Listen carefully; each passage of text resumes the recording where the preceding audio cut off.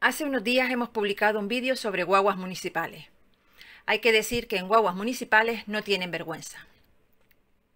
Emitíamos esta foto en la que se aprecia unos aseos en la estación de guaguas de Vegueta en Las Palmas de Gran Canaria que llevaban años cerrados y que guaguas municipales no había puesto en funcionamiento.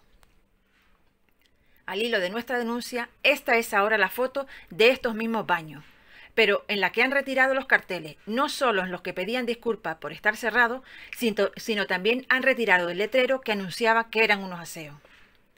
Por lo que, en un claro ejemplo de desprecio al usuario por parte de guaguas municipales, ahora simplemente los usuarios no tienen ni siquiera aseos.